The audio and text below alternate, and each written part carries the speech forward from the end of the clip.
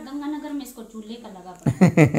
पानी में डूबा पड़ा है। बेटा उनकी सहायता करो जाओ हेल्प करो। आपको पता है लोगों के घरों में पानी चला गया बेटा बहुत ज़्यादा। इसको ये देखो क्या कर रही है देखो।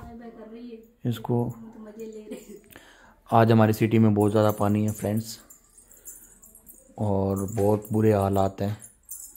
और लाइट भी चली गई है और इन्वर्टर भी सब कुछ ख़त्म हो गया है।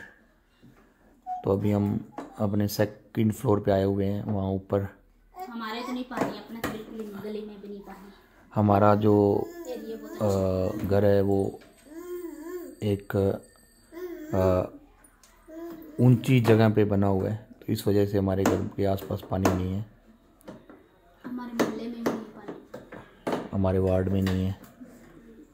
तो बाकी सिटी में जहाँ पे नीचे